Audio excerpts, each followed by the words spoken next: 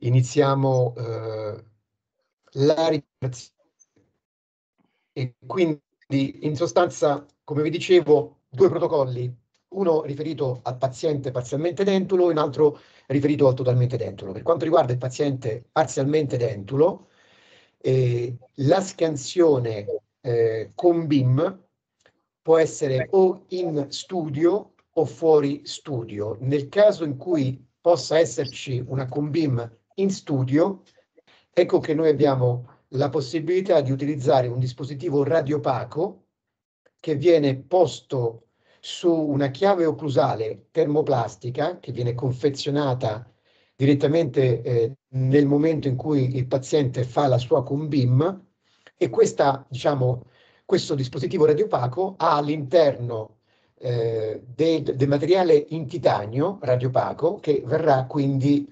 impressionato eh, dalle radiazioni ionizzanti della COMBIM, in modo tale che poi quando verrà poi caricato i, caricati i file DICOM, il software registrerà automaticamente l'anatomia del paziente sui dati della COMBIM. Questo è l'elemento nuovo che si aggiunge al protocollo che eh, già eh, alcuni conoscono, che è il protocollo cosiddetto trace and place, un protocollo che rimane appunto operativo, è un protocollo che permette quindi di effettuare questo, questa registrazione, questa registrazione tra l'anatomia del paziente e i dati della TAC attraverso un tastatore eh, eh, chiamato Tracer che permette appunto di scegliere un tripode dentale, quindi almeno tre elementi dentali, poterli disegnare con questo tastatore, quindi arrivare poi a far effettuare questa registrazione dell'anatomia del paziente sui dati della TAC.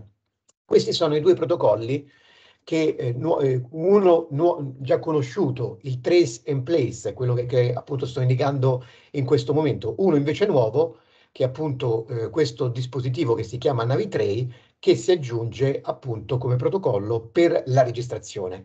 La fase poi di progettazione è rimasta sempre la stessa, la fase chirurgica, come ricordate, la calibrazione dell'asse del contrangolo e della lunghezza della fresa con la prova di accuratezza prima di iniziare l'osteotomia per verificare che ci sia una congruenza tra quello che io faccio e quello che io vedo e quindi l'atto chirurgico dinamico. Come sapete abbiamo necessità di dare delle scacchiere nel caso del paziente e eh, come sapete eh, anche nel caso del manipolo operatorio. Per quanto riguarda la parte invece di totalmente dentulo, il protocollo è questo, è un protocollo che non è cambiato, che prevede una preparazione prima della fase di scansione con la Combim di un mock-up con dei reperi radiopachi e con delle mini viti di osteosintesi che vengono posizionati sull'arcata del paziente. Quando il paziente fa la tacca, quindi la fa sia con il mock-up sia con le mini viti posizionate sul mascellare dentulo e io vado a caricare sul computer i dati DICOM, ecco quello che io vedo. Vedrò le mini viti, vedete qua ne vediamo quattro, radiopache, quindi in titanio, e vedrò questi bottoncini radiopachi che sono quelli presenti nel mock-up indossato dal paziente in fase di tacca. Questi materiali ci servono perché questi bottoncini vengono utilizzati per registrare l'STL del setup diagnostico. E quindi per poi effettuare, come vedete, una pianificazione tenendo conto di quella che è il volume e la dimensione verticale dei denti, volume e dimensione verticale che è stata costruita in articolatore, perché questo WhatsApp è stato fornito in formato STL dal laboratorio. E quindi abbiamo le informazioni non solo appunto della protesi, ma anche dello spessore della mucosa. Quindi su queste informazioni viene fatta la progettazione e poi ancora una volta c'è la fase di registrazione che viene fatta sulle mini viti che sono queste mini viti che noi vediamo in DICOM utilizzando il tastatore e dopo la fase di registrazione abbiamo detto la fase di chirurgia di osteotomia direttamente effettuata in modalità guidata dinamica. Ecco, era, eh, il, questi erano i due protocolli eh, che volevo appunto eh, introdurre preliminarmente, dando anche la possibilità a qualche altro collega di accedere alla, a questo webinar per passare quindi la parola al dottor Comuzzi che appunto condividerà con voi alcune esperienze cliniche a questo riguardo. Per quanto riguarda la condivisione c'è praticamente in questo caso io faccio lo stop al mio sharing e in alto c'è una freccia dentro un quadrato, Luca, quindi tu dovresti essere in grado, cliccando quella, con quella freccia, di condividere il tuo schermo. E lo stiamo vedendo in questo momento, quindi tu sei in grado in questo momento di farci vedere il tuo schermo e quindi di iniziare la tua presentazione. Si vede? Sì, si vede. Si vede perfettamente. Ok, allora, grazie per la parola eh, Luca e saluto anche George, eh, dopo ascolteremo anche la sua esperienza e, e questa, questa, sera volevo un po' parlarvi la, della mia esperienza con il nuovo eh, Navident e soprattutto con i nuovi protocolli di eh, registrazione, come ha parlato Luca, appunto, che sono senz'altro molto più veloci per eh, applicare subito la, la, la, chirurgia. Adesso vi farò vedere e vi farò vedere un po' alcune cose con anche eh, dei casi che ho trattato. E lavoro, io per chi non mi conosce sono eh, un collega di Conegliano, provincia di Treviso, eh, sono un odontoiatra e mi occupo prevalentemente di implantologia e di parodontologia, per cui lavoro in questo studio che sembra situato in, negli alpeggi alpini, invece è situato in pianura, però ha un bel prato con, un, con anche bei, una bella vista sui caprioli che spesso ci diciamo, uh, allietano la nostra vista. E nello studio abbiamo tutti i protocolli mantenuti eh, anche dopo il Covid di eh, protezioni eh, di lavorative e, e, questo è il personale che mi aiuta tutti i giorni. Ci tengo a nominarle perché senza di loro non sarebbe possibile lavorare come, eh, come piace a me. Allora, eh, la navigazione, eh, quindi il mio discorso sarà un po' ibrido per chi è molto esperto eh, ascolterà appunto delle cose un po' ripetitive, per chi è meno esperto ascolterà invece delle cose un po' più introduttive che senz'altro sono utili. Comunque la navigazione è un sistema di trasferimento dell'anatomia del paziente all'interno del computer e, eh, ed è un aiuto per la realizzazione di eh, impianti attraverso l'uso del computer e attraverso la guida di un computer, quindi è una navigazione dinamica re- legata alla, eh, diciamo, alla visualizzazione nella TAC 3D del, dell'impianto che dobbiamo posizionare. Per cui è come se ci fossero due occhi che guardano il manipolo che noi utilizziamo e eh, la bocca del paziente attraverso un jaw tag che è un, eh, una farfallina chiamata eh, così attaccata alla mandibola o al mascellare superiore del paziente e eh, qualunque movimento il paziente faccia viene seguito come nel famoso film di Top Gun in cui vengono seguiti gli obiettivi nonostante si possano muovere. Quindi non è che se il paziente si muova, che questa è magari una classica domanda, eh, se il paziente si muove e si, diciamo, si scombina tutta la taratura, ma rimane comunque tutto tarato proprio perché viene seguito attraverso l'utilizzo di queste farfalline. Il tutto si realizza attraverso un obiettivo e, e il computer ci aiuta, la navigazione ci aiuta a seguire l'obiettivo per posizionare l'impianto dove noi abbiamo pianificato. Ovviamente questo è un esempio in cui eh, in un totale inferiore, eh, che di solito io svolgo in, con, in conometria, praticamente eh, il manipolo segue questo target e più precisi si è nel seguirlo, più precisa è rispettata la pianificazione. La posizione di, di lavoro è mh, mm, guardando il monitor e qui sfrutto il nostro amico Simone Patianna che mi ha suggerito questo bel video di Ronaldinho che è in grado di calciare nonostante guardi dall'altra parte, quindi è un po' una visione al buio noi guardiamo sul monitor, in realtà non guardiamo la bocca del paziente. anche se adesso ci sono dei sistemi di visualizzazione moderni che consentono di vedere attraverso gli occhiali con la realtà aumentata ciò che vediamo. Ma in realtà, come Ronaldinho fa, eh, noi in realtà guardiamo il monitor del, del computer. Il Navident eh, Evo eh, ha le dimensioni ingombri più o meno di quello vecchio, eh, diciamo, ed è molto compatibile all'interno dei nostri studi.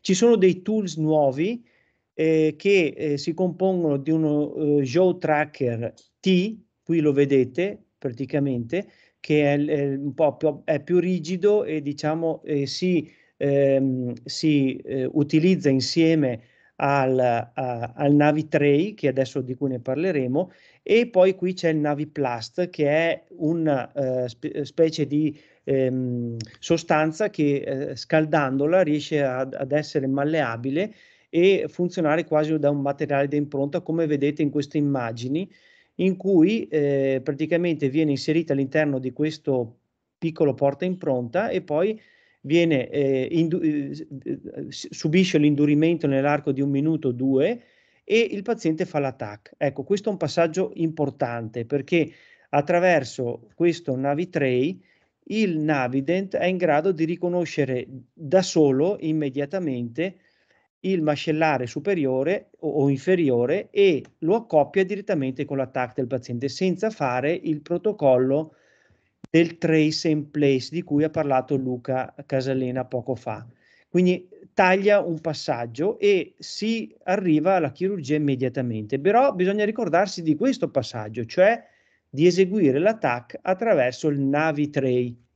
Adesso vediamo un attimino. Dopodiché ci sono dei eh, sistemi, diciamo, nuovi che si avvalgono appunto di strumenti un pochino più piccoli, meno ingombranti sul manipolo rispetto a quello vecchio e anche dei eh, caschetti o head tracker che sono nuovi, sono un pochino più piccoli, meno ingombranti e di cui c'era qualche criticità che dopo vi farò vedere.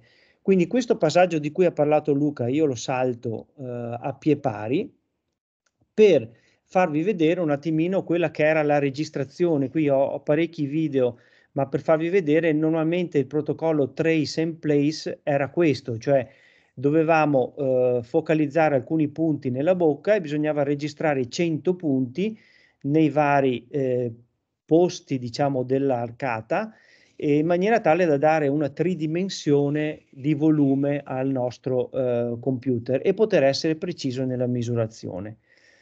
Ovviamente eh, poi va verificata l'accuratezza della registrazione e l'accuratezza si eh, registra, si monitorizza attraverso il tracer, quindi quel dispositivo che avete visto prima, e si tocca varie zone della bocca, denti ovviamente dei posti fissi, e che ehm, evidenziano il grado di precisione di registrazione che abbiamo fatto.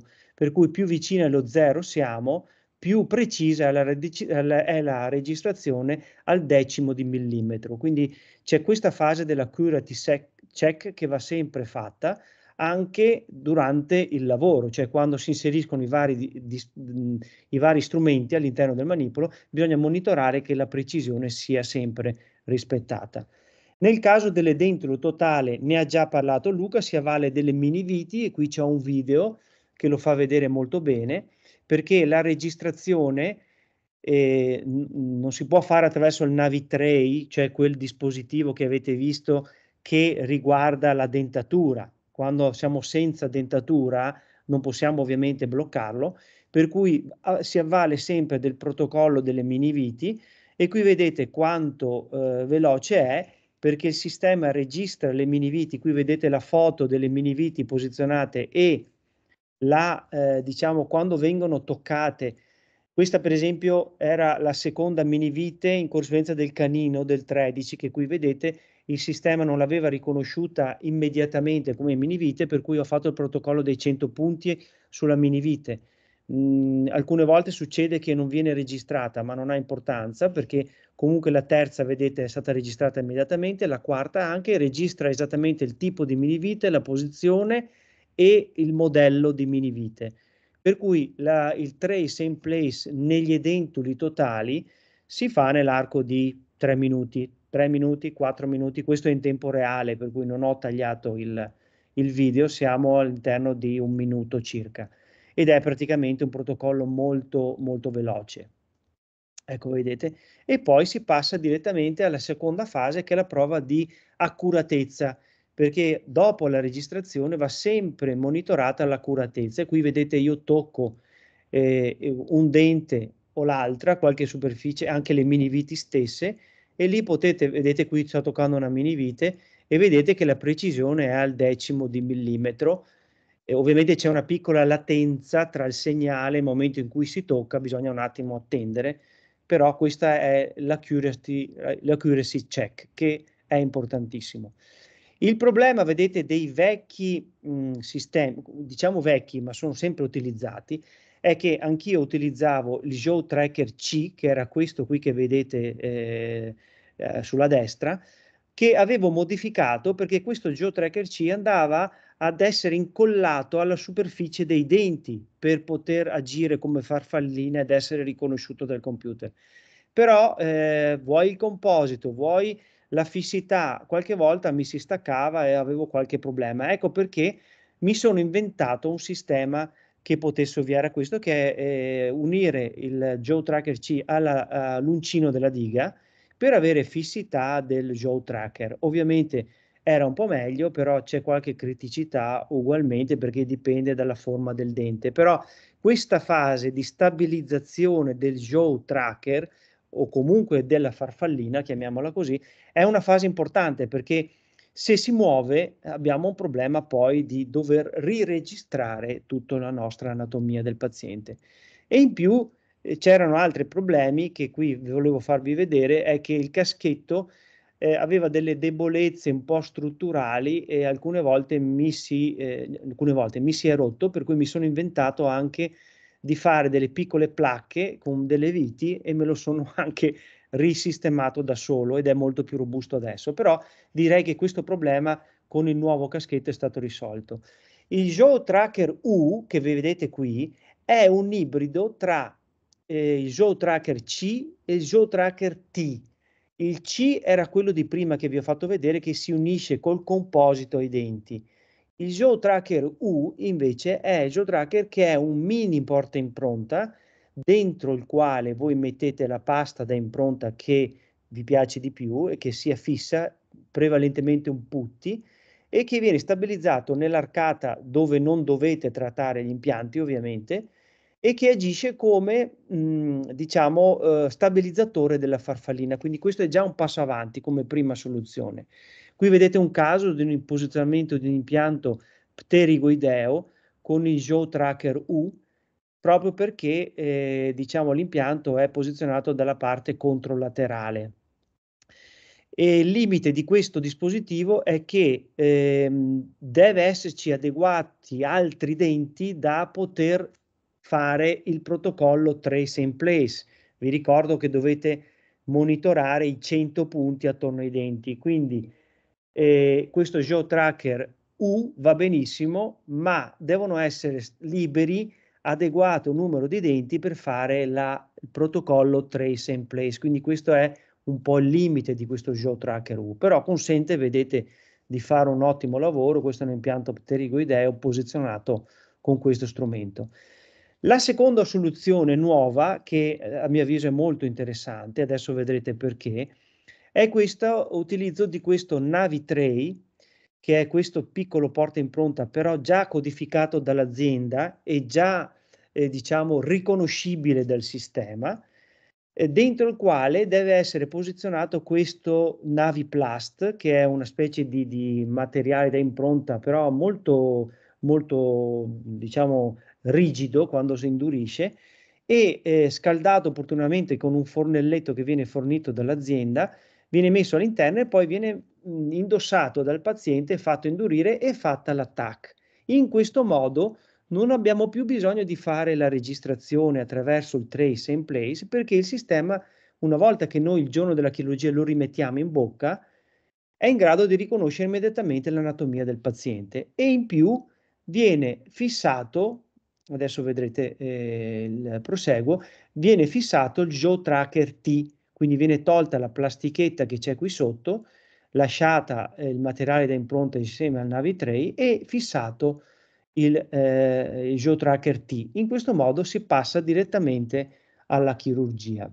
Quindi i due protocolli di cui ha parlato Luca sono questi, c'è quello della instant registration, così viene definito, in cui il, la paziente fa l'attack con il Navi Tray e il Navi Plast, cioè quel piccolo diciamo dispositivo.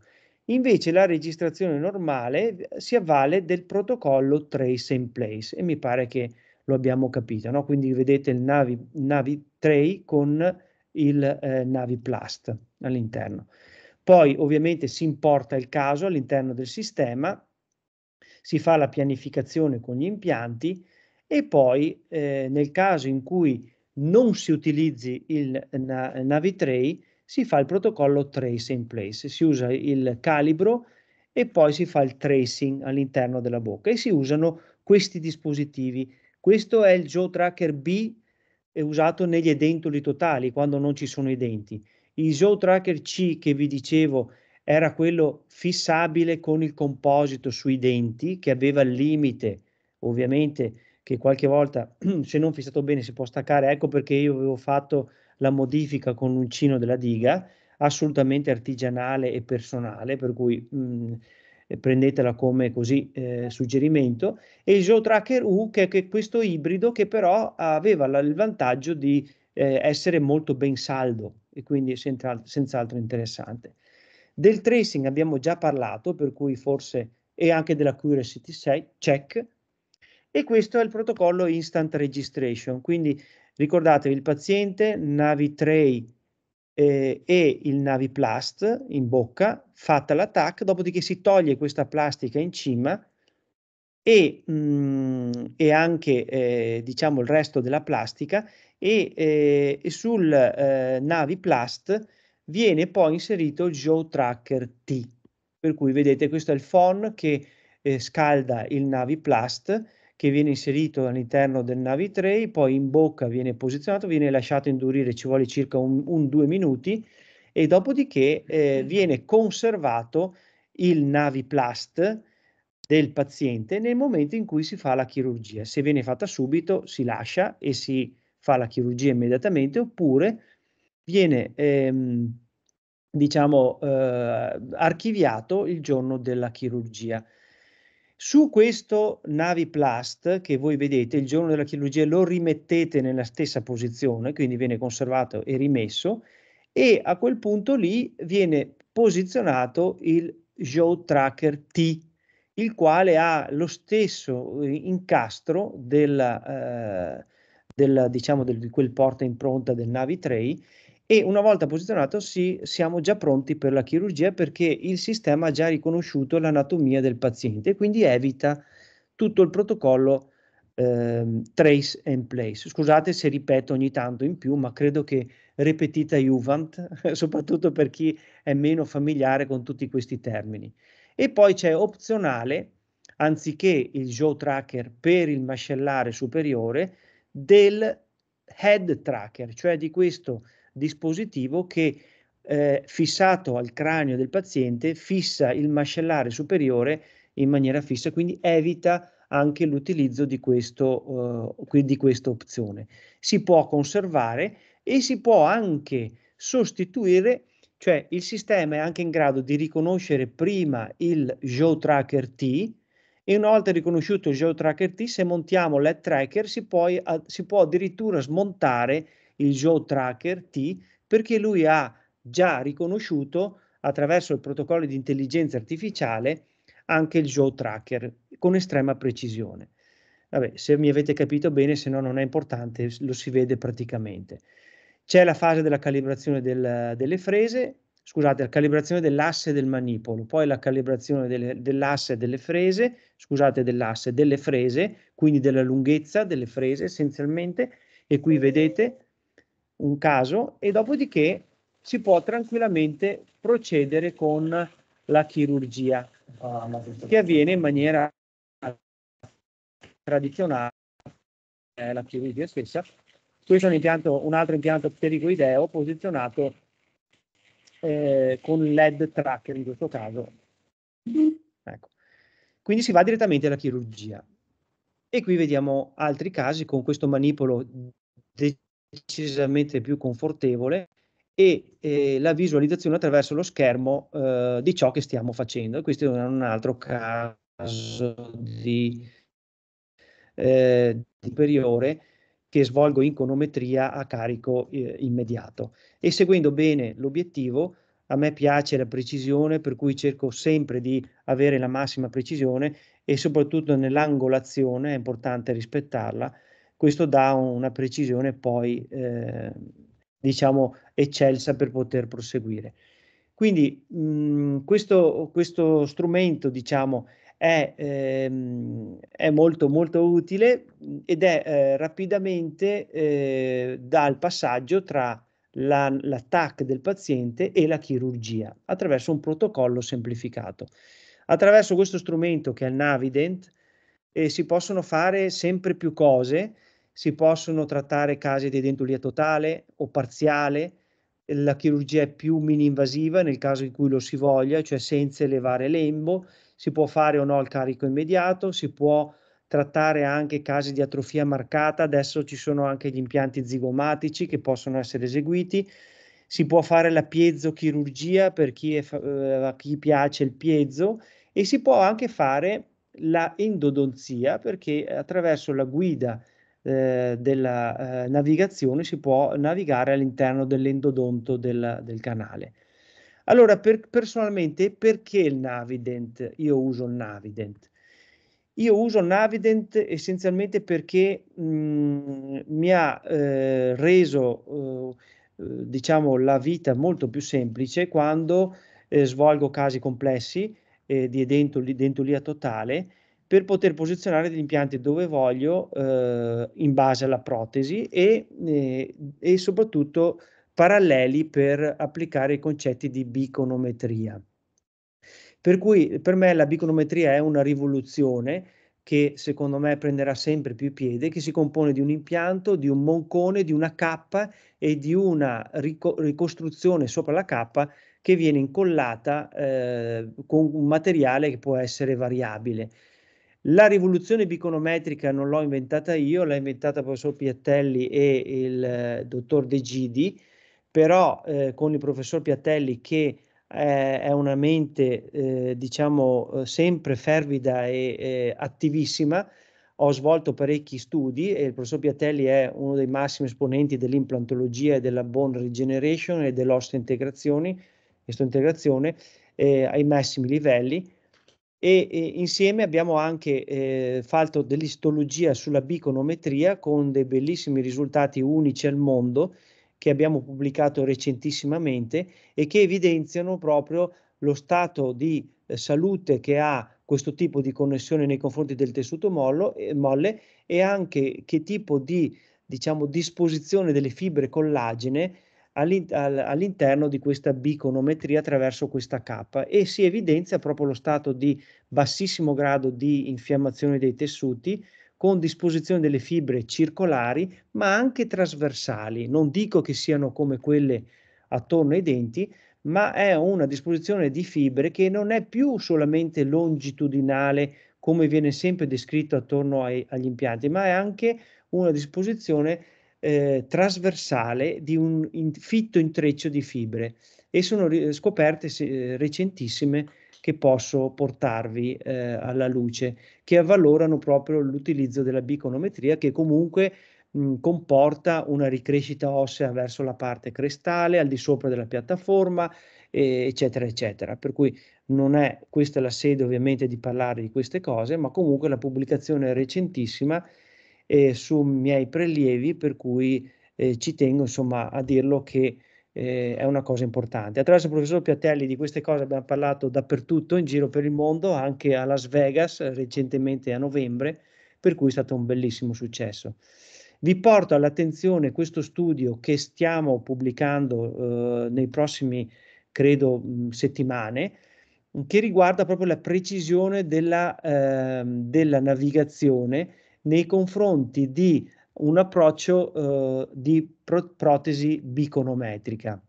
in cui ho analizzato eh, e qui vado un attimino al, all'articolo, comunque ho analizzato circa 50 casi di eh, dentulia totale superiore e inferiore, dove ho analizzato il grado di precisione tra il pianificato e il realizzato, eh, in maniera tale da vedere che grado di precisione questo, ehm, questi, questa attrezzatura mi dava.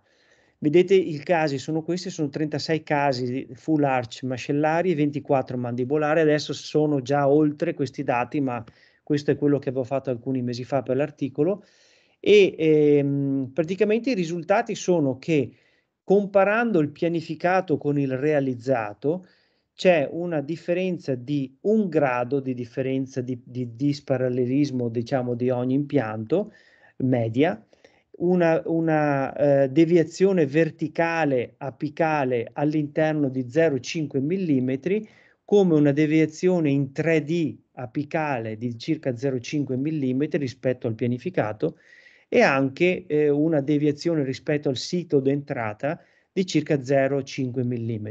Questo sta a significare che effettivamente con questo sistema, acquisendo una curva di apprendimento buona, si ottengono veramente dei bei eh, dei bei risultati.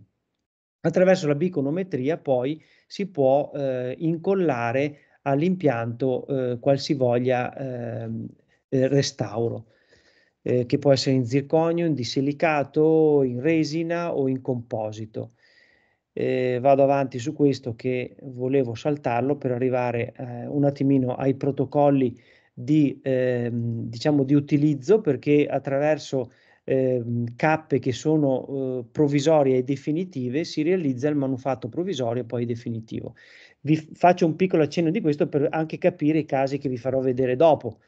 E attraverso la digitalizzazione, eh, dico, è, è una rivoluzione perché attraverso gli scanner intraorali si possono registrare le impronte intrachirurgiche delle cappe, degli scan body, quello che volete, attraverso la navigazione si può eh, avere un aiuto notevole nel posizionamento degli impianti rispetto al pianificato in maniera molto precisa e, mh, mm, e quindi tutto eh, può avere un, un, un, grosso impulso verso il digitale, anche la completa digitalizzazione. Questo per esempio è un caso di edentolia bilaterale superiore e inferiore di un paziente in cui vi faccio vedere quale è il mio protocollo per, per questi casi, cioè io mi avvalgo della TAC e di una doppia scansione, di un doppio STL.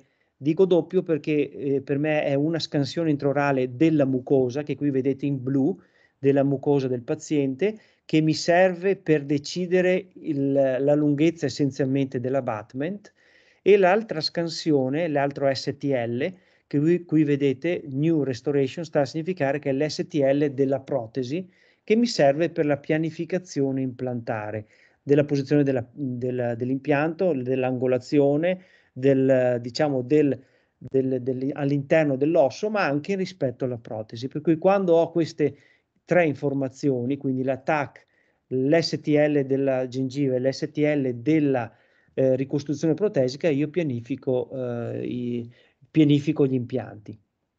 Vedete che si possono raggiungere gradi di precisione con otto impianti nel mascellare superiore con ptericoidei addirittura paralleli e un, dei Toronto eh, conometrici, che per me è eh, diciamo, eh, la cosa a cui punto ogni volta. Nel mascellare inferiore il protocollo delle mini viti lo avete visto e poi ci sono eh, gli STL, qui ne vedete addirittura tre, ma perché tre? perché in questo caso avevo anche la vecchia protesi del paziente, per cui ho eh, scansionato pure quella e l'ho inserita all'interno del, del sistema di navigazione in maniera tale da avere l'altezza della gengiva che mi serve per la pianificazione dell'altezza dell'abbatment.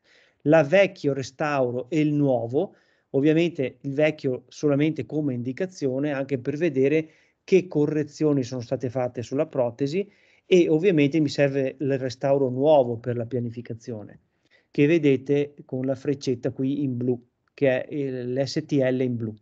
Per cui è tutto molto semplice, sembra complicato ma in realtà è molto semplice. Qui vedete per esempio la pianificazione inferiore con sei impianti anche questi sono paralleli all'interno del progetto protesico, semplicemente io l'ho applicato all'interno del sistema di navigazione e queste sono le due protesi superiore e inferiore in biconometria con la navigazione e l'aspetto radiografico che sembra un, diciamo, uh, un pavone, però è un aspetto di deformazione ovviamente della panoramica. In realtà tutti questi impianti che voi avete visto sono paralleli in biconometria con protesi rinforzate in fibra di vetro. E questo è il paziente con le due protesi in bocca e il caso finito, con ringraziamenti a Luca De Pasquale come, come odontotecnico per la realizzazione di questi manufatti. Per cui mh, Qui mi vedete al lavoro eh, quando utilizzavo eh, il monitor, eh, scusate, utilizzando il monitor con i vecchi dispositivi e eh, adesso con i nuovi dispositivi possiamo fare, eh, come vi dicevo, anche, anche, meglio. La navigazione è una società eh, di navigazione della quale faccio parte e di cui sono un trainer insieme ad altri trainer. Detto questo, vi faccio vedere dei casi clinici, se mi concedete ancora un attimino di tempo, dei casi clinici con questo protocollo della instant registration. Qui vedete un caso eh, di un paziente, ovviamente di edentulia parziale, vi ricordo che il Navi Tray deve essere posizionato in dentatura, per cui se il paziente non ha dentatura non è possibile metterlo. Qui avevo la possibilità di utilizzare la dentatura di destra, e eh, gli impianti andavano a sinistra. Quindi praticamente ehm, è stato eh, pianificato eh, gli impianti, come voi vedete, il 26 e il 27, con una pianificazione, diciamo, eh, un po' basica che dà il sistema, che, che, voi vedete con la superimposizione di alcuni de- dei denti e poi la, la pianificazione con l'STL della gengiva. E qui eh, praticamente è tutto molto semplice, vedete che l'impianto è stato posizionato flapless, è stato posizionato addirittura in monconi e poi le cappe provvisorie, senza levare nessun tipo di lembo, con il proto- protocollo dell'instant registration. Qui vedete eh, praticamente il, la velocità con la quale la cosa è stata fatta, per cui io ho inserito il Navi Tray vedete che è già su e, e non faccio altro che cominciare, è già, quindi il computer registra già la, la, il mascellare superiore del paziente e non faccio altro che controllare la accuracy, accuracy, accuracy check eh, nel monitor per poter verificare che tutto sia corretto e lo è. E, ehm, e poi eh, praticamente vedete in tempo reale comincio eh, calibrando prima l'asse del manipolo, poi calibro le frese e eh, l'apposizionamento implantare avviene nel giro di pochi, di pochi minuti, in pochi, veramente di pochi minuti. Quindi vabbè, vi salto il passaggio, ormai l'avete, l'avete visto, eh, basta seguire l'obiettivo che avviene con una curva di apprendimento. Mascellare inferiore lo stesso, c'era un ponte il paziente desiderava appunto eh, sostituire il ponte con degli impianti, è stato fatto il protocollo anche qui dell'instant registration dalla parte controlaterale, per cui il paziente ha fatto l'attacco con questo Navi Tray, dopodiché ho pianificato, qui avevo l'STL del ponte del paziente che mi seguiva come guida protesica per pianificare i miei impianti e anche questi flapless sono stati inseriti con i monconi direttamente e mh, le viti di guarigione in PIC che sono uh, queste qui. E qui vedete, eh, anche qui praticamente io non ho fatto altro che eh, installare il Joe Tracker T ed ero già pronto per calibrare le, l'asse della fresa, calibrare il, eh, il, il manipolo e, e, e, partire diciamo con la mia chirurgia. Verifico ovviamente sempre che eh, il, l'accuracy check sia corretto e eh, procedo direttamente con la chirurgia. Quindi è un protocollo di semplificazione, dopo vediamo le indicazioni e anche quando si può fare e quando no, giustamente. Però secondo me quando si hanno certe indicazioni è decisamente più rapido il passaggio, è comunque molto preciso verificato con l'accuracy check che avete visto e poi il, il posizionamento implantare avviene in maniera tradizionale, standard, come avete visto prima.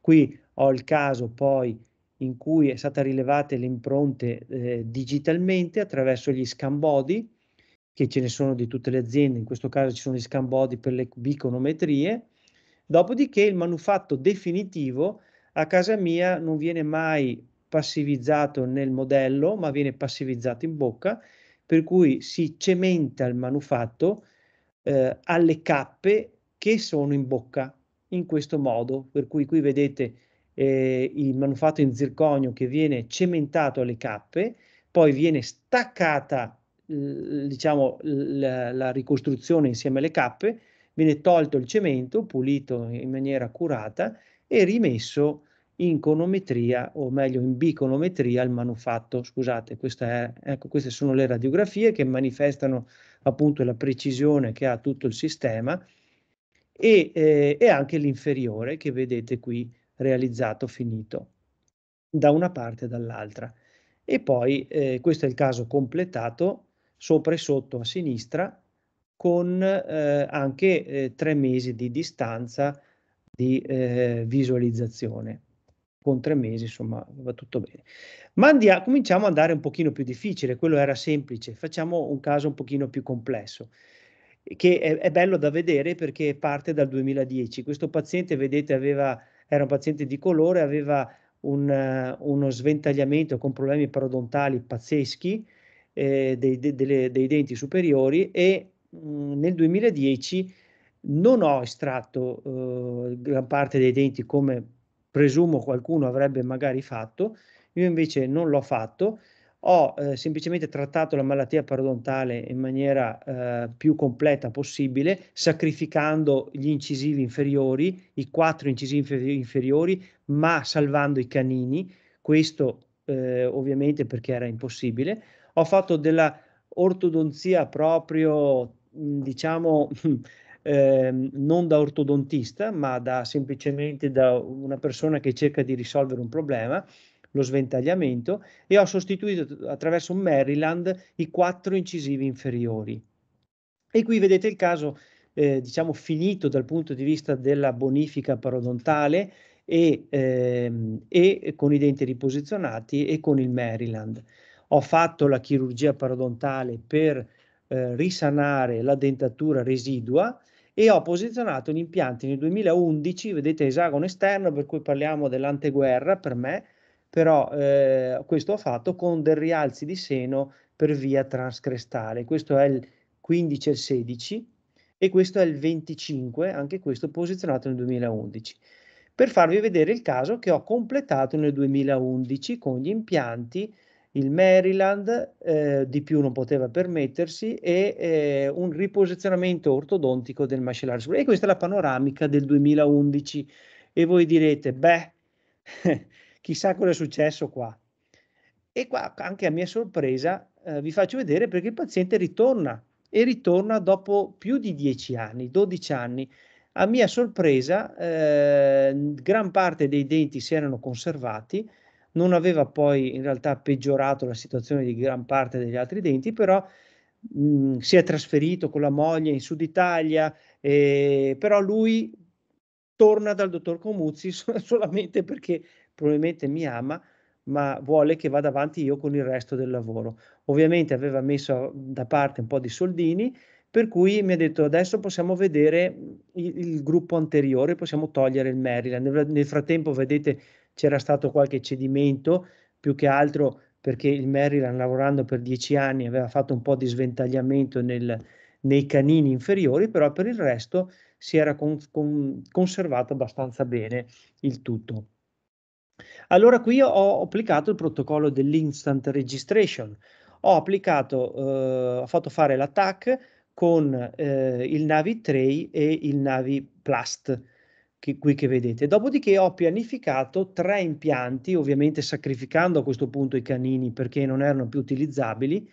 ho fatto i miei STL, vedete addirittura del, del eh, Maryland e anche della nuova ricostruzione, per cui vedete in blu o eh, nell'altro colore, arancione o giallo che sia, eh, la vecchia ricostruzione per vedere un po' eh, quello che succedeva.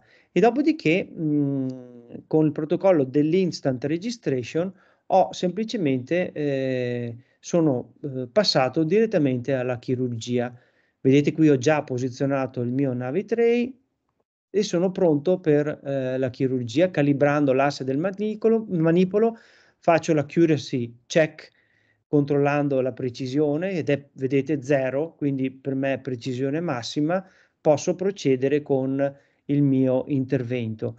Il mio intervento che si è composto di posizionare tre impianti, qui vedete le fasi proprio chirurgiche, qui il, il tecnico mi ha eh, diciamo, eh, preparato un, eh, una dimetta con un, per la ribasatura per il carico immediato dei denti e quindi ho posizionato, vedete il mio Navitray, ho, eh, ecco qua vedete anche proprio un'immagine eh, clinica del, di quello che viene fatto, dopodiché vengono posizionati tre impianti eh, post-estrattivi nei canini e un impianto nel gruppo anteriore. Vengono applicate le cappette per ehm, diciamo, la ribasatura della resina che poi mi è servita per fare il carico immediato. Ho riposizionato la dima che il tecnico mi ha dato, ho staccato a questo punto la resina con le cappe, ovviamente con della vaselina all'interno, altrimenti la frizione può essere anche eccessiva.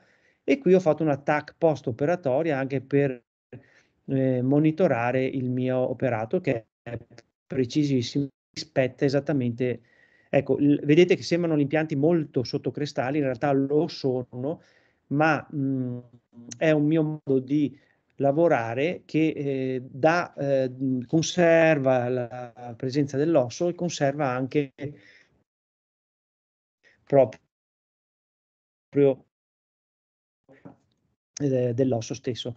E vedete il manufatto posizionato al della chirurgia essenzialmente lucidato con i punti ancora su e quindi il caso, eh, il caso è stato ultimato in questo, in questo caso.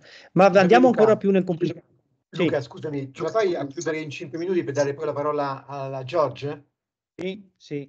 Faccio Grazie. vedere questo caso, poi, ho, poi ho, ho, finito. Questo è un caso di, di un gruppo anteriore in cui ehm, eh, praticamente la paziente nel 2024 viene con i due denti anteriori eh, rotti e, e praticamente eh, mi richiede uh, cosa fare. E quindi questi due denti rotti sembrano restaurabili, in realtà come vedete clinicamente hanno una carie molto sotto gengiva.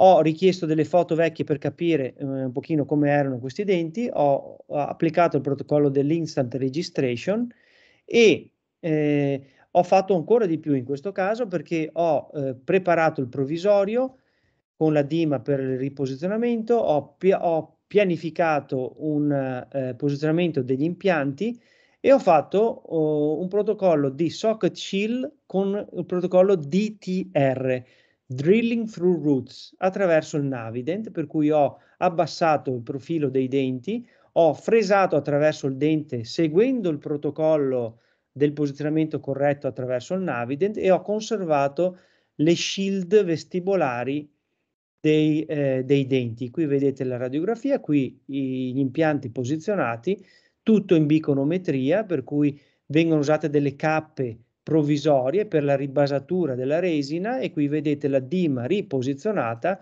opportunamente staccata, lucidata e riposizionata in bocca. Ecco qua. E qui vedete la conservazione dei tessuti. La paziente desiderava avere i denti corti che aveva un tempo, non, non desiderava avere denti lunghi e quindi il caso è ultimato. Ultimi due minuti, anzi me, mezzo minuto per dirvi questo. Come take home message per quel che mi riguarda.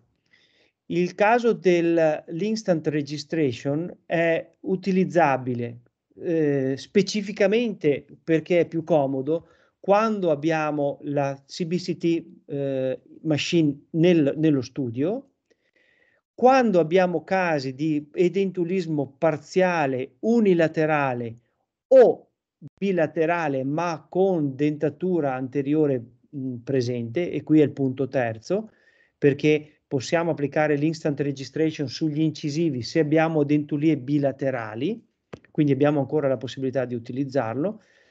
Quando è difficile o richiede troppo tempo il posizionamento del jaw tracker tradizionale, quello C che avete visto, o quello anche U, che anche questo, perché c'è l'adesione alla porcellana.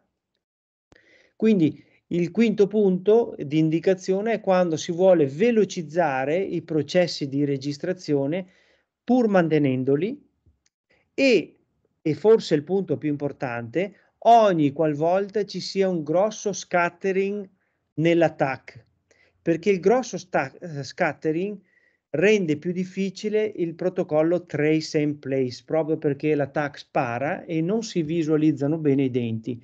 Ecco, io credo che quando ci sia uno scattering molto elevato, il protocollo dell'instant registration abbia la sua massima espressione.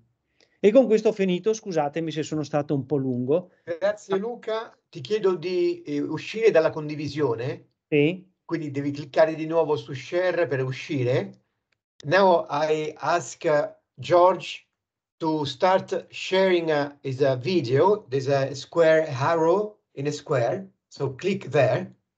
Okay. And you can start sharing a video. No, oh. Aspetta sì, sì. Ok. Ok, Luca?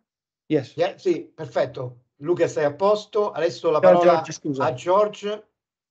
Can you see? Do you see? No, no, we cannot see yet. So you need to click on the square where there is a, a black arrow inside. Click on the square in order to share your video.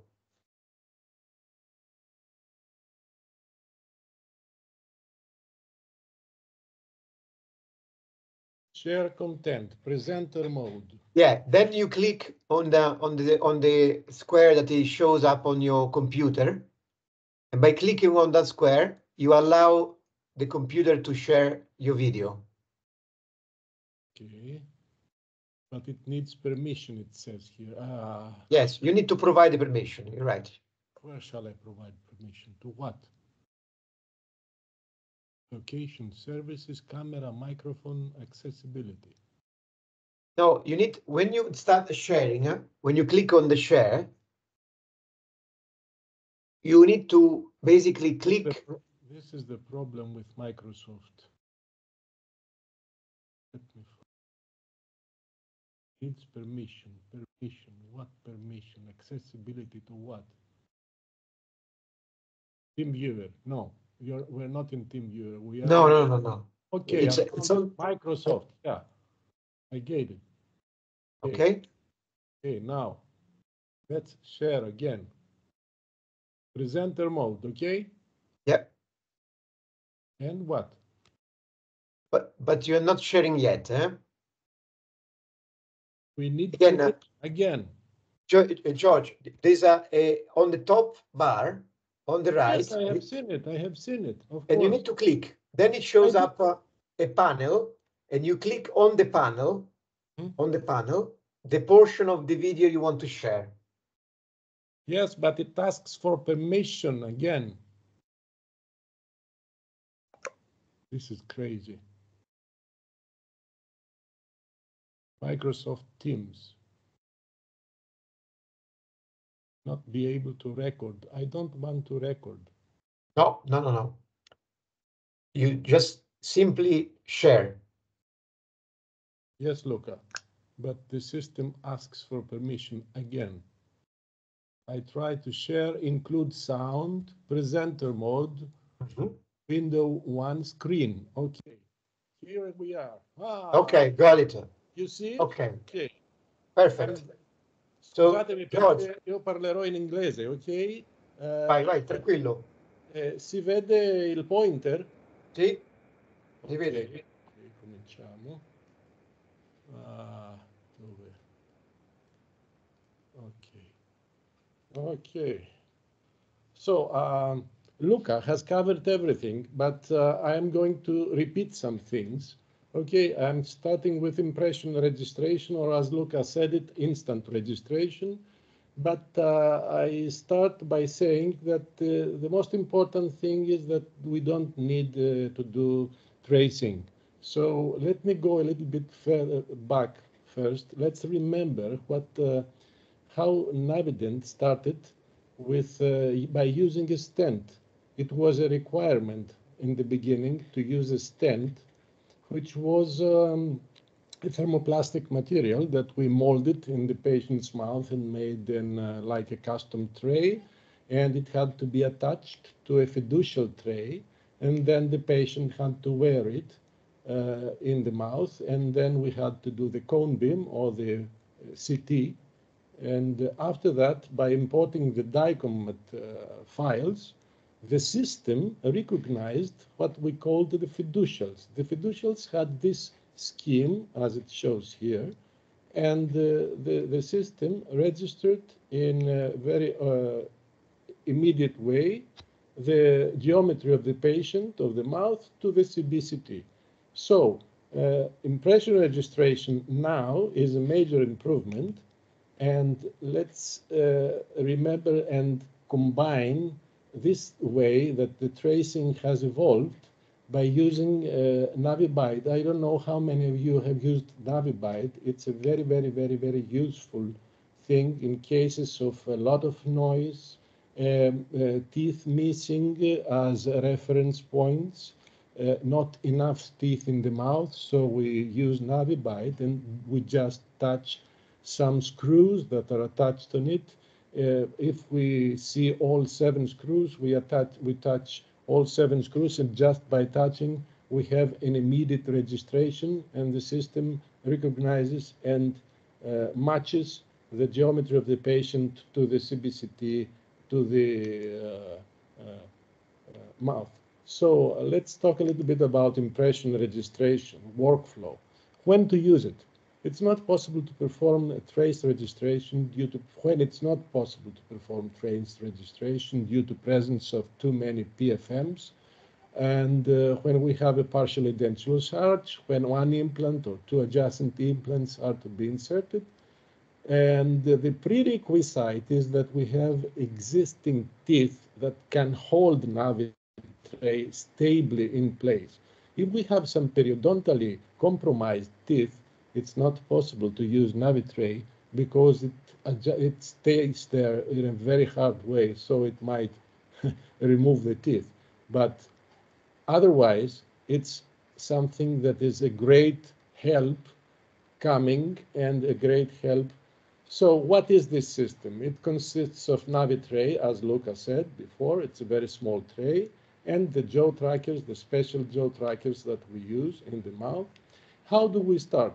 We start by using Naviplast. Naviplast is the soft material that becomes soft by using uh, a heater, a special heater, or you can use a heater, a nice heater that you can adjust it up to 200 degrees Celsius. It takes only one minute to mold it and place it. It's a very, very nice material, extremely nice material to mold it and place it in this tray, in the small tray, and then ask the patient to bite on it and after that, you have to mold it a little bit around the teeth in order to make it steady. Then you can remove it in an easy way. And then the patient goes to, to do the CBCT in your office, or you can send the patient to a CBCT radiology center. So, uh, and by coming back, the, we have to receive, by receiving the DICOM files, when you import them into the system, the system immediately recognizes and sees this fiducial, this scheme, because the tray has uh, uh, four uh, lines of uh, metal. I think it's aluminum, but I don't know if it's titanium. Anyway, it's metal, and the system recognizes it immediately. What you see here is a real-time import you see how quickly the system uh, sees the whole thing. And here you can see we have a, a dialogue, uh, load mandible. When you say yes, it immediately registers the patient without the need of uh, providing a panoramic uh, line to draw a panoramic. In any way, in this case, I, uh, I, I show you that you can draw a new panoramic line, so the system allows you to do this. And what is very important, and I have included this video here, is that you can design and you can see the 3D without the interference of the block of Navitray, because the system has a very nice uh, way to hide it.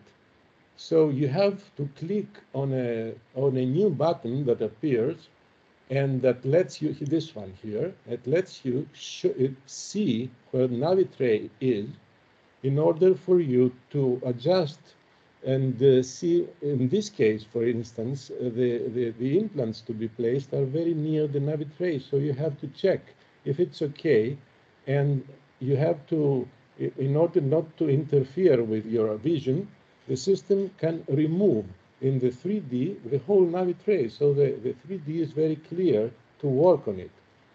And so on. We have another case here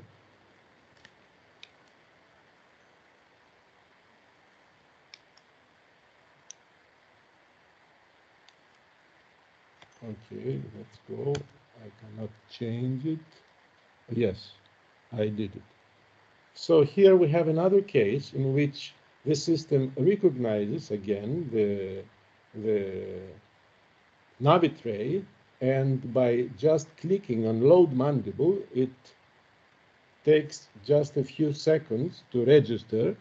And as I said before, there is no necessity to draw a a line, a panoramic line.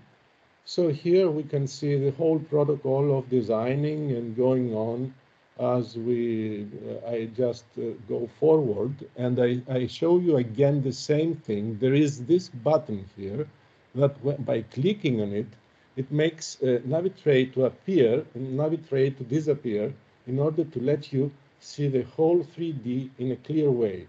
This is very important. So I go forward in this uh, case to show you that we can, as usually, match uh, an STL file, and then we can uh, draw the nerve, and then we can uh, uh, design our implants, and so on and so on. We're going to go forward in a later one.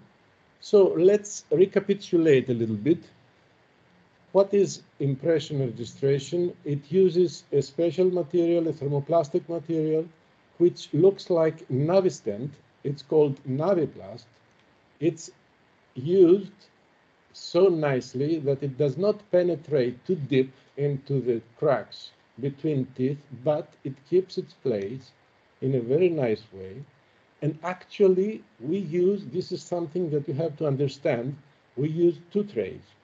One tray is the Navi tray that we take the CBCT, and the other tray is the jaw tracker, which allows the guidance and allows the registration, the automatic registration.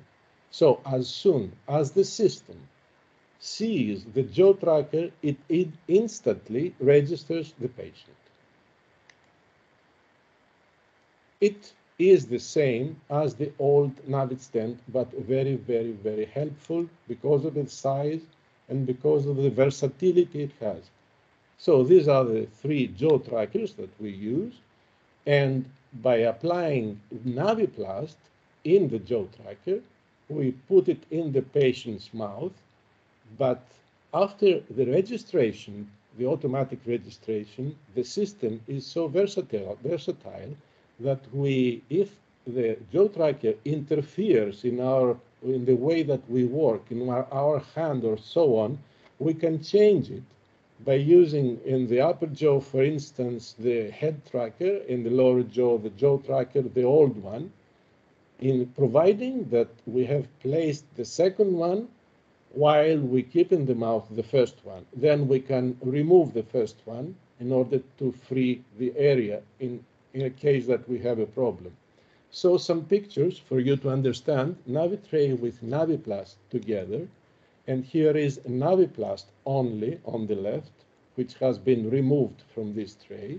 And here is Naviplast from the other side, where you can see these grooves. These grooves go inside this jaw tracker with a click, and the whole thing goes in the patient's mouth and is very, very steady. And as soon as the system sees this, it automatically registers the patient. So when we start, we start not by tracing, but we start by calibrating our drill axis, as Luca showed us before. So we calibrate the drill axis, and then we move on to calibrate our uh, drill. So uh, here you can see the calibration of the drill, and uh, here you can see uh, in a moment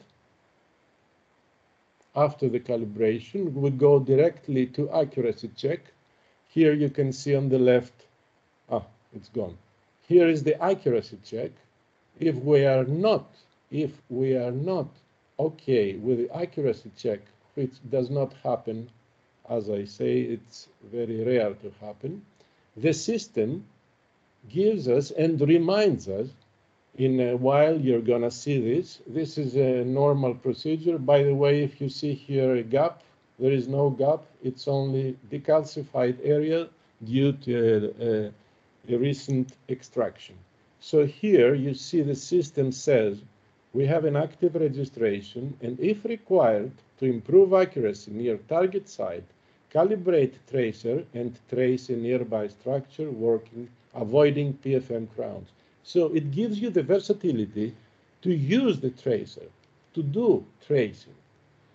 So that's all that I wanted to say about the in, in impression registration. Now I want to share with you some of my experience. I want to share with you three ways that Navident can be used with great efficiency and the Navident has helped me a lot in these ways. First, I'm going to talk to you about partial extraction treatment and socket shield. You know, every one of you know what partial extraction treatment is. It's three entities, socket shield, pontic shield, and root submergence technique. And so the concept is to prevent the periodontal ligament associated with the buccal portion of the root and the vascular supply. So in socket shield, a part of the root is intentionally retrained by using dynamic navigation, you can be guided both through the procedures of cutting the root fragment and immediate implant placement. So we have this drawing here. You all know what it is. This is uh, the part of the root and the, skin, the, the way that it has to be cut. Here we have to fill the gap with a graft and the implant has not, that must not touch the part of the root. This is a prerequisite. If we make the implant to touch the, the part of the root, so we have a failure. So here we are in a case that a lady lost all these teeth. Number 13, number 15, number 17 are going out.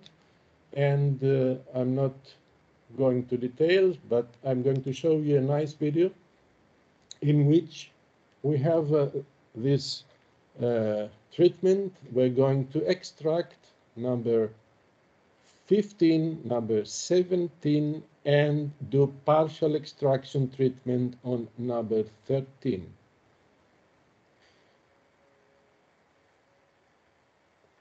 You see how compromised the teeth are, and you can see here the area that we want to maintain. This is the area of number 13. So here we start by planning number 13, the implant. And after that, I plan the partial extraction treatment. In my case, I do it by doing two different bookmarks. One bookmark for the partial extraction, one bookmark for the implant. You can do it by combining them in one bookmark, the one implant besides the other, it only shows in red because the navident, navident sees that they touch almost each other. And here's the plan of the other implants. So we proceed by uh, extracting the two teeth. And now we drill number 17. We go in.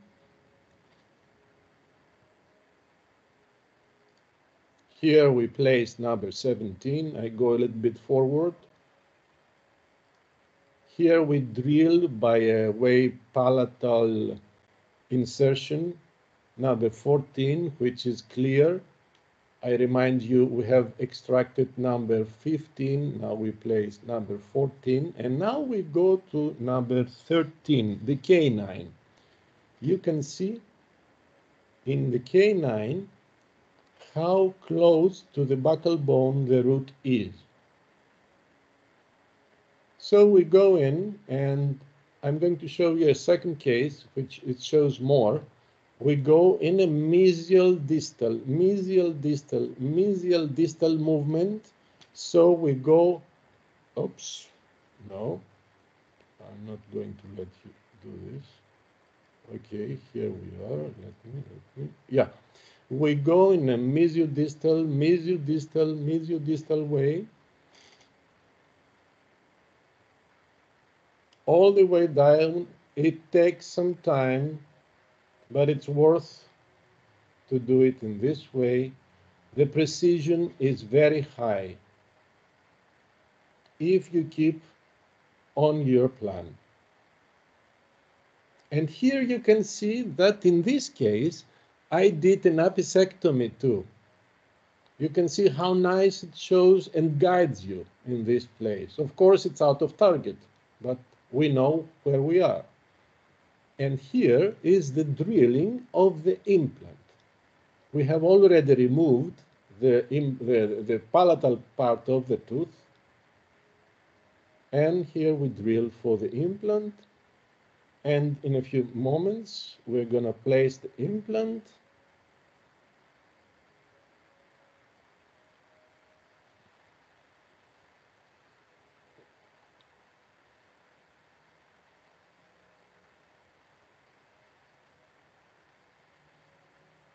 and the implant is in place.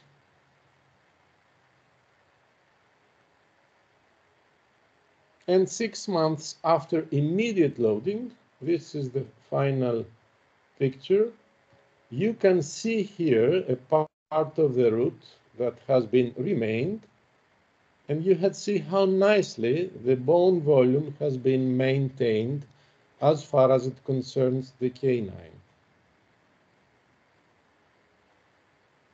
Here it shows better the bone, the volume, maintenance on the right side. And here we were lucky, but because seven months post-op, we had to take a new CBCT of the lady for another implant.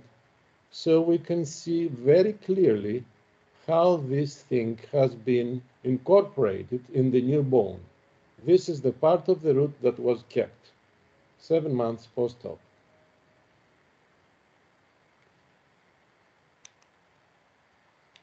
So this is another case.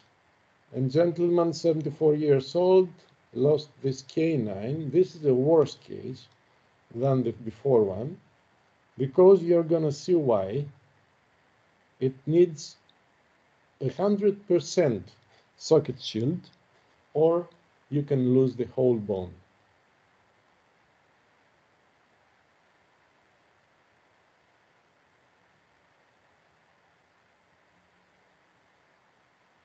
The oral hygiene of the patient is not the best one.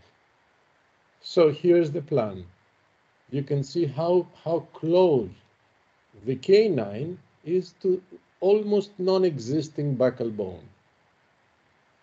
This is the plan to cut the root, and this is the plan for the implant. Now, in this case, you see they, they coexist.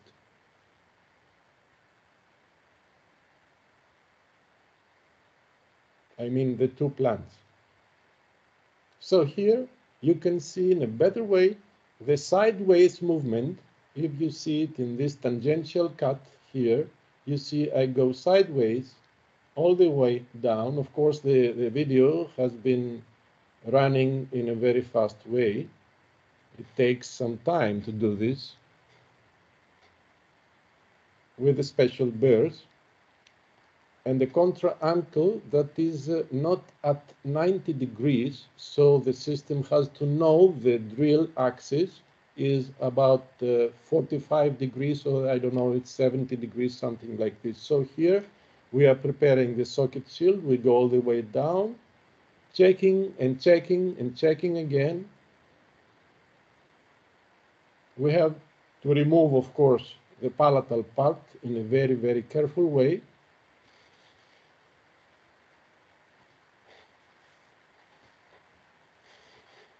And here is the drilling for the implant. And again, we're going to see the implant in place. Let me go a little bit forward. Yep.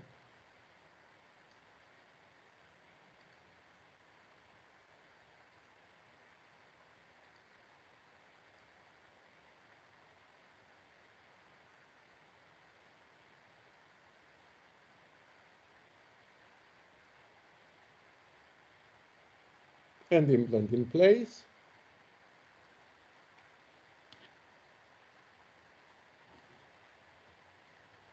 And the implant in place.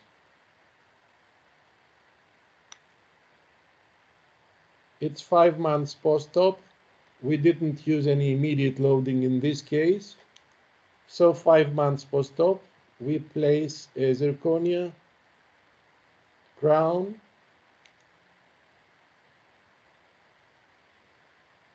And one year post-op, we see the maintenance of the volume.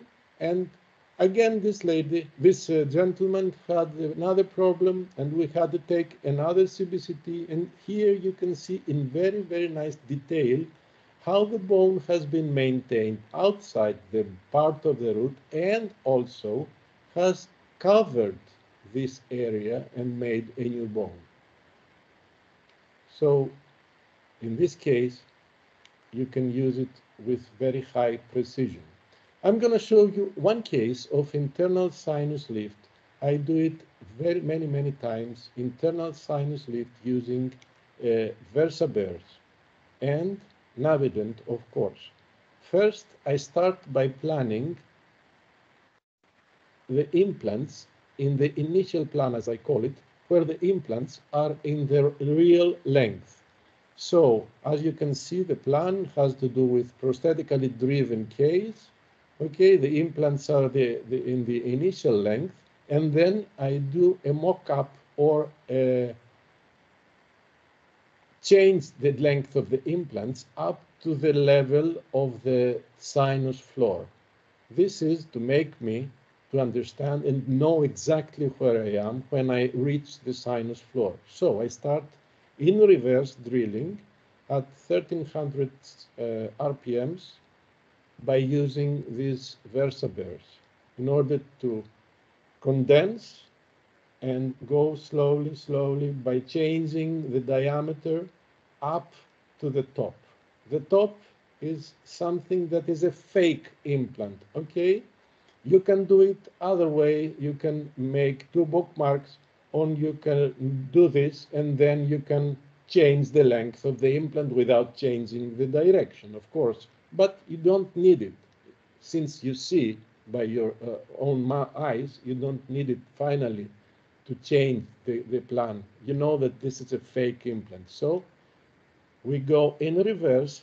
After we enter by number three, we go in reverse at 150 RPMs and we send in the graft and this is the graft that we send it, we always fill the membrane. We always fill the membrane with a special probe that is not so uh, uh, like a needle. It's wide a little bit, and you feel it. You feel it, and then you know that the membrane is intact. And it's very important to check it always, and always check your graft. So you always since I started using Navident in this way, I always have a success. A very nice, you know, this dome shape that goes over and gives you the confidence that you have not penetrated through by dispersing it in the in the in the sinus. And this is the day of placement, immediate placement. You see quite a different, quite a large augmentation here. And after exactly one year, you can see how much bone has been formed here. Exactly one year post-op. And a little bit about pterygoid implants. You all know about pterygoid implants. I thank Luigi Stefanelli because he's a grand maestro for teaching me this. And you know, pterygoid implants can, can uh, take part of three different bones, the palatal bone, the maxillary bone, and the sphenoid, the part of the sphenoid, the pterygoid fossa. So uh, some schemes here, and you can see this is a very short video, how nicely you can guide yourself and see and be very safe. If I used it now, I placed this, this is one of my first ones, I would put it a little bit up to the floor of the sinus, not entering the floor, but a little bit up.